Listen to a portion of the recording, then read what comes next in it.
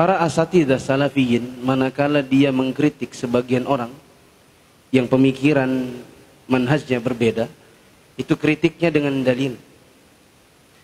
Kalau ada di antara antum, mungkin ada dari para dai yang merasa sering mendapatkan kritikan-kritikan tentang pendapatnya, maka saya katakan kalau ada kritikan dari kami yang antum dapatkan, maka telaah dengan dalil pula. Jangan jawab dengan nafsu.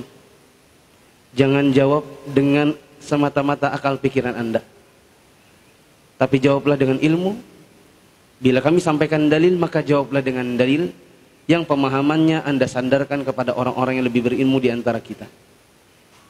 Misalnya kami kritik sebagian dai yang menghalalkan musik. Maka kami bantah dalil mereka dengan dalil yang lain. Manakala kami mengkritik sebagian orang yang mengatakan Allah itu tidak bertempat atau Allah ada di mana-mana, maka kami berikan dalil. Maka jawablah kami dengan dalil. Kalau antum menjawab kami hanya dengan sekedar dasar orang-orang merasa benar sendiri.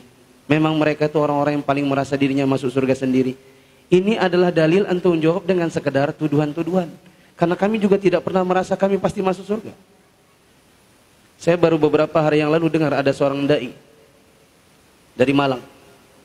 Dia mengatakan, dahulu saya seperti mereka yang suka mengatakan mereka semua yang bukan kami adalah orang-orang yang 72 tempatnya di neraka, hanya kami yang sendiri yang masuk surga. Maka saya katakan, kalau antum dulu seperti itu, maka antum adalah orang yang paling bodoh di kalangan para asatid salafiyin bakal begitu. Karena orang yang mengerti tentang manhaj salaf tidak pernah sama sekali mengatakan dirinya siapa yang ikut mana salaf pasti masuk surga. Nggak pernah. Ada Ustaz? Ya. Kalau ada kasih tahu saya, nanti saya telepon orangnya. Siapa Ustadz yang pernah mengatakan kami pasti masuk surga? Siapa yang ikut kajian saya pasti masuk surga?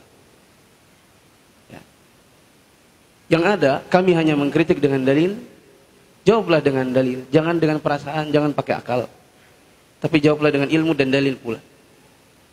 Kami tidak pernah merasa benar sendiri. Ini yang kami tahu.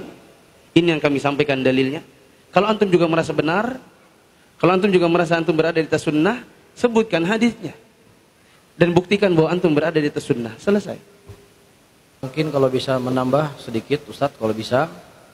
Ya karena memang ini syubhat yang begitu laku di sebagian muslimin ya tentang boleh salafi hanya mereka yang menganggap dirinya mereka benar. Menganggap diri kita benar itu boleh. Wajib bahkan. Allah menyebutkan dalam Al-Quranul Karim, La yadkhul jannah illa man kana hudan aw nasara. Tilka amaniyuhum. Kul hatu burhanakum in kuntum sadiqin. Ketika orang-orang Yahudi berkata, tidak ada yang masuk surga kecuali kami saja. Orang Nasrani juga berkata tidak ada yang masuk surga kecuali juga kami saja. Apa kata Allah? Kul hatu burhanakum in kuntum sadiqin. Datangkan kepada kami bukti kalau seandainya apa yang kalian ucapkan itu adalah apa? Benar. Silakan untuk mengatakan kami paling benar, kalian salah. Tapi pakai apa? Pakai dalil. Dalilnya apa? Ini dalilnya. Ini ayatnya, ini hadisnya, ini ucapan ulamanya. Ucap kamu batil, menjadi Al-Quran demikian, hadis demikian. Jadi kalau dia mengatakan apa?